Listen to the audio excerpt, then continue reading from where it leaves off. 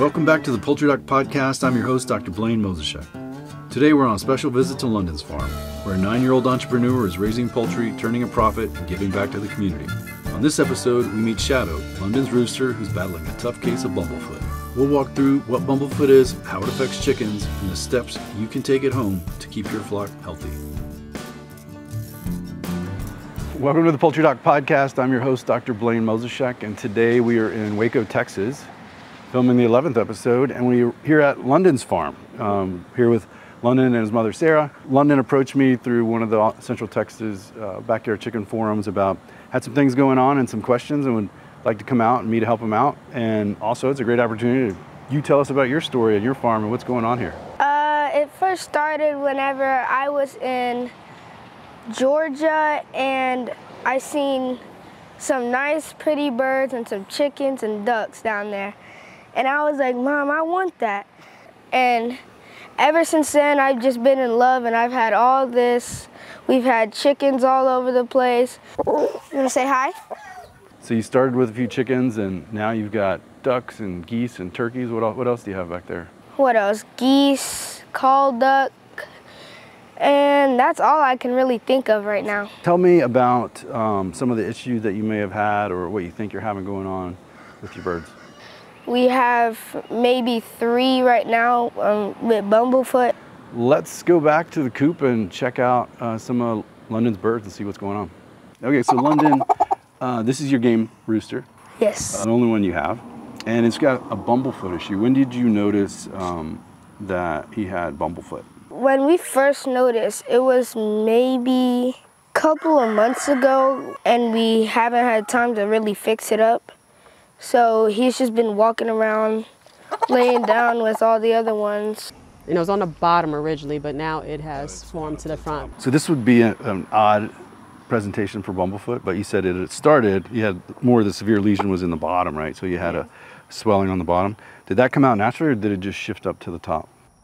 Um, come out naturally and then it formed again. Formed again on the top of the foot. Bumblefoot, those infections are deep and they're in the side the um, kind of connective tissues, the tendons and whatnot. And when you have a pocket like that in there of like pus, in this case, what we call exudate, that tends to be walled off and protected from the, the bacteria protected in there. And so we give antibiotics and the antibiotics can't penetrate into there. And so we can give antibiotics and it'll get kind of better a little bit, but it never really goes away unless you can get in here and clean this out, um, which would likely, you may have some bone. You said he's, is he um, limping pretty good? or No, is he walks around just He walks around, okay. And it's probably not in the bone yet.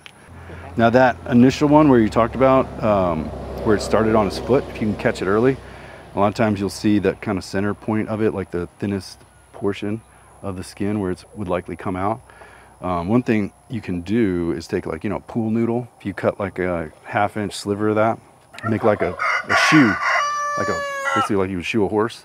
But in this case, you're gonna create it and that little center part will be right, um, right in there. So he's not bearing weight on the center of his foot. And then you can take that salve, that Prid stuff that you talked about Okay. and pack it in the center of that pool noodle and then just wrap it with vet wrap. That way it kind of keeps the pressure off and it kind of, the weight of the bird on that top of the lesion kind of forces it out, Okay. gives it pressure way to get out of there. Now with it being on the top like that. Yeah, but on the top like that, this one is an odd one, kind of getting out the side here.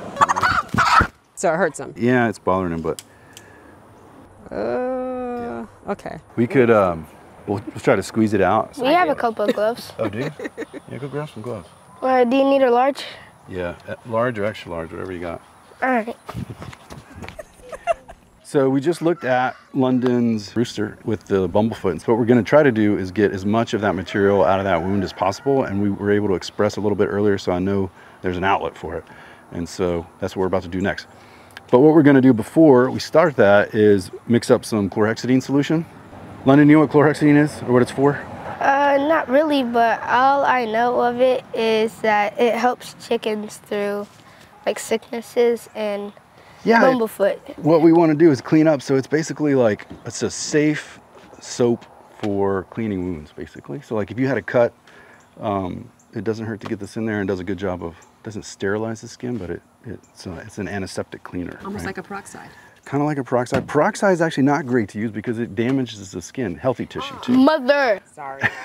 I, hey, I grew up with my mom putting peroxide on everything Right. too, but they tell us today that peroxide is actually kind of, it damages the skin, so uh, Okay. not to use it. Good to know. Okay, so we're on the tailgate of my pickup and we're about to check out the rooster that we just looked at. And what we're gonna do is express some of that material that we that was in that wound and hope to get out as much as possible and then that'll allow us to give him some antibiotics to hopefully get over with the last little bit that that infection that he has in there and hopefully that clears it up. But what we're gonna do after uh, or before we start too is clean the lesion really good. And this is something for basic wound care. Today we're doing it for bumblefoot. Your hen or rooster could have gotten attacked by a dog or scratched on the fence or something like that.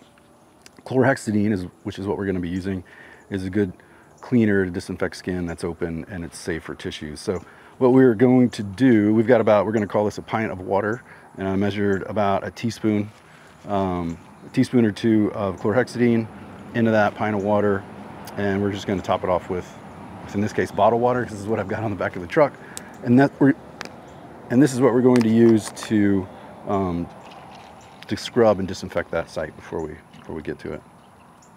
So easy as that. Let's make like some soap. Okay, we're gonna try to make it better.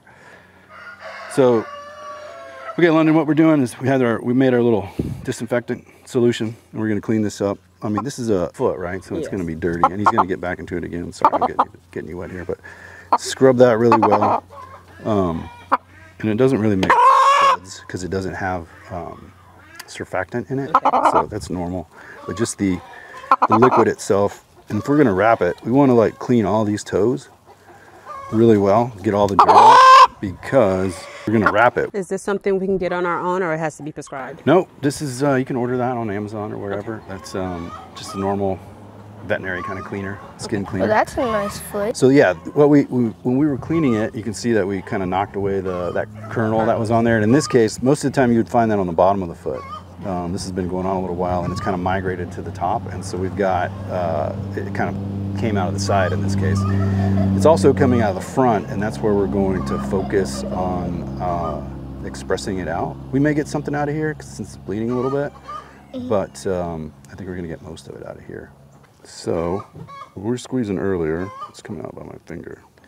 So you can see right here, it's kind of a, a squishy spot, and that's kind of that's where the thinnest skin are too. But we're actually getting it out from between those two scales there. So we're gonna squeeze and try to get as much of that material out of It there as possible. nasty. Why does that look like mayo? Well, it's not Not mayonnaise. I will sweet. tell you that. um, yeah, it just that what that is is dead cells, and basically that's the immune system comes in there and tries to fight this bug off, and those cells die as it does that, and they just get left behind, and so that's basically what pus is, just dead cells. And we want to really get as much of that debris out of there as possible. And you'll notice that as I do it, we're going to keep cleaning because yeah, that stuff that we're taking out is essentially got bacteria in it. And so every time we don't want to try to flush out as much of that as possible. You see, I'm actually getting that chlorhexidine in there, which is that's not a bad thing either. You can see he's calm. This is actually, I'm sure he's, you He's know, like, taking the pressure off of there, and it's um, feeling better. To have it bleed is kind of a good thing Okay. that means you got you know blood flow into it because what happens is it gets walled off and that's another reason why the um, back, the antibiotics sometimes aren't very effective is because there's just no circulation there so if it's bleeding that's a positive Okay. Trying to get this last little Is that a scale or is that still inside? no it's still um, yeah it's Dried up like that? yeah that cellular debris we were talking about so we'd call that like a cellular exudate. And you know you'll may not be able to get all of it. And the body will can clean it up. I mean you can see there's some in there and it's pretty dried and hard to get out and i don't want to squeeze them any more than i have to. Do this one more time see what we can get out and you can see it's open just a little bit there see where that's coming out and again oops, sorry So now we're gonna clean it up. So we've expressed as much out as we can. We're gonna clean it up again. And this is where um, we'll wrap him right now, but you could come back. Um, I don't think we need the, the salve anymore because we really tried to pull it all out. But what we're gonna do, we don't have it right now, but we're gonna get a pool noodle for Londyn, or Londyn's gonna go pick a pool noodle up like Walmart or anywhere else. You know, so the tubular floats and cut about a half inch slice of that tube. And then we're gonna set it right here so that the inside, the, the palm of his foot, the sole of his foot is is kind of in the middle of that, that pool noodle, right? Now, if you had an active infection and we hadn't expressed it out yet, and you see that little black spot on the bottom where it kind of wants to come out, that's where you could pack it with uh, like a drawing salve that'll help okay. soften that. And then again, that downward pressure on the foot with nothing underneath it is gonna help drive that infection out, okay? okay? So we'll put the pool noodle down. If it were needing it, we would put the draw salve in there, and then now we're going to wrap it with um, uh, some vet wrap. Okay, so Londyn, what we're gonna do is take some of the bandage, some of the gauze material. We put a little bit of chlorhexidine solution on it, um, and we're gonna wrap it over the top because this, this is, you know, where the lesion's at. Usually, in, in, most cases, that lesion will be on the bottom, but this is a, a little unique. So you see I'm kind of weaving it between his toes? Yes. And you can kind of turn over. And I don't want to do it too tight either because I still want, you know, good circulation there. And so he can have good ways of walking if yeah. we still have it on. We don't want to impede his walking too much. So, Londyn, what we did is we cleaned it really well, expressed as much of the stuff out as we could, cleaned it again, put some gauze on it, um, and that gauze had Chlorhex, our antiseptic cleaner on it. Hmm. And then we wrapped it with vet wrap. And uh, we don't want to get it too tight because we want to make sure the circulation is good there. Shadow should be good to go. We got uh, quite a bit of material out there. We're gonna put him on an antibiotic to help kind of clean up whatever's left. And hopefully he'll be on the mends. One thing to keep in mind too, we want to try to keep this dry as possible. We got some rain here today, earlier, so yeah. that things are kind of wet. So Londyn's gonna put them in a carrier probably or something to keep them dry for a little while until things dry up. Sound good? Yeah. Today we've been out at Londyn's farm in Waco, Texas, looking at his menagerie of birds. Our big issue was Bumblefoot and his rooster glad that you uh, invited us out. And where can people find you? Where, if they wanted to buy some eggs, where would they find you at? They would find me here or on Facebook. Facebook where? On my farm page. Londyn's Farm, and it's L-O-N-D-Y-N, Londyn's Farm. Yeah. Miss Sarah's wearing a shirt. They both are. I really appreciate you inviting us out, and I really enjoyed looking at the farm. You and your mom, Sarah, have done a great job proud of you. Keep it up. I like small business entrepreneur guy. Um, we talked about where they can find your products. Everybody follow Londyn on Facebook and look him up online. I appreciate everybody joining. Click that like button, tell your friends, share the story, and uh, thanks for joining us. Uh, don't you even think about it. Girl, girl has already pooped on my arm. Ah! You're good, bro? You're good? You good? We don't need to fight today?